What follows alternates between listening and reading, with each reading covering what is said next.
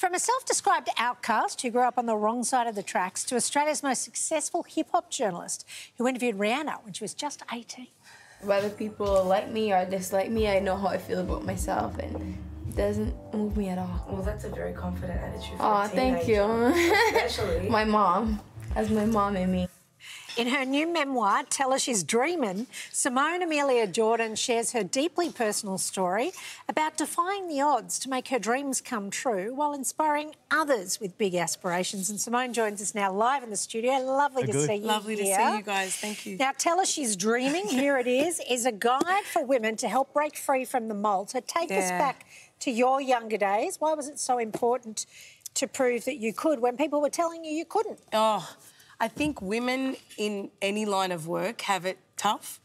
But uh, if you're from a marginalised background or you grew up with a single mum like I did, shout out to my beautiful mum, um, you have it a little bit tougher. And so I always say we don't, because I grew up taking public transport, we don't get to take the express train. We don't get the straight shot. We take the all stops to the journey. Uh, we get there eventually, but you know we really have to claw our way through to get there. So uh, when I was young, I was moved from the inner west of Sydney to the central coast, which in the late 80s wasn't very multicultural. So we had a hard time. And uh, it drew me towards hip hop music because in the late 80s, that was the golden era of hip hop. Yeah. And the artists were really socially conscious then and they were very pro-black. They were black artists, but I understood what they were saying for their communities and to their communities. But that effect trickled down to me to be proud of my own identity uh, as a Cypriot and Lebanese woman. So I've, it's been my best friend since then. And it's really kind of pushed me through the darker moments when I thought I, every time I wanted to give up, um, it was my dreams and self belief, but also hip hop and my, and my single mum who got me there. How, how were you introduced to hip hop? Because I, I know a lot of people how they resonate with with, with, with, with, a, with a particular message, and, and maybe there was one, not a particular song, but there was something. Who brought that into Well, I wanted life? to be a rapper first. Did Did you? Fantastic. Yeah, yeah. My, my, my lyrics are in the book, and obviously I decided to be a reporter instead. Um, well, Bust a Move was a very big song here by Young uh, Young MC, so that was a big one. Uh, but it was Salt-N-Pepa. Yeah, I loved Salt-N-Pepa growing up. Queen Latifah had a song in 1989 called Ladies First with Monie Love. Monie Love was the first really big uh, female international rapper. She was originally from the UK, and she ended up becoming a friend of mine, and she wrote the forward to the book. Which is a full circle moment. So it was, you know, lots of different songs. Public Enemy, I was very like militant as well. So yeah. Look at all these incredible people you've interviewed. Your career has literally taken you to the centre of the global rap scene. Tell us, uh, for instance, tell us about meeting J Lo. Yeah, so uh, I mean, and, I mean, you're you're an old hat at this. You're the O, you're, you're the OG uh, of, of entertainment interviews, right? So You're you know very about kind, this. but, uh, but uh, but J Lo, I'm I in the presence of greatness Oh, here. yeah, I was 20 years old. I was an intern, and I was at Juice magazine, which was a it was a rock music magazine. yeah. So they said, to, There "No, you are. Look. that's me with J Lo. Um, I was so excited. So they didn't want to interview her because it was a rock music magazine. Who, who wants to interview J Lo? Yeah. Give the intern the job. I said, Are you kidding me? Because 20 something years ago, J Lo represented to young girls that looked like me and everything in between. She was like a huge inspiration. So I got to the press conference. It was this uh, Elizabeth Bay, very fancy mansion. She arrived on this beautiful yacht.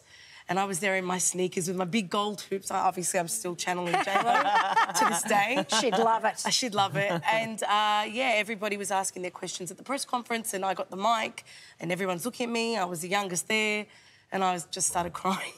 I was like, I love you. You're my inspiration. They're like, who let this crazy fan in? but I ended up asking her, you know, you're a triple threat diva, singer, actress, dancer. Is there anything you can't do? And she was like, oh my God, like I love basketball, but I'm so uncoordinated and I practice and I can't get it. But the stories the next day across all the mainstream outlets led with that anecdote, which I was very proud about. So yeah, it was a great moment. Well, that's great. And even listening to, I can, I can Do see you how. remember the day? But no, I was just saying, I could see how you would become an inspiration to people as well to fo- to follow that and, and through your own writing a- a- Yeah. and, maybe through your own experiences as well. No, no, but it, it's, I'm it's, I very think it's- emotional it's, because fantastic. thank you. This is um, I grew up with a single mum in Western Sydney, and we moved to the Central Coast for a little bit. my grandmother. My grandmother was very resilient. She raised seven kids basically on her own. Wow. Mm. She worked three jobs, and my mum was the dreamer, right? So I had the resilience and hard work ethic of my grandmother's generation, the dreaming of my mum, who wanted to be in the circus, God bless her. And I combined those two to chase my dreams, but also have the work ethic. And I just want young women to hopefully, these are not easy times, mm-hmm. to, to know that through these times, you have to hold on to those dreams and you will get there, you know, no matter what. What about this collaboration you did with Reebok on your own Oh, sneaker? yeah. So that was in Incredible. 2012. I was living in New York City. Reebok Classics approached me to design a sneaker. I was one of five women from around the world.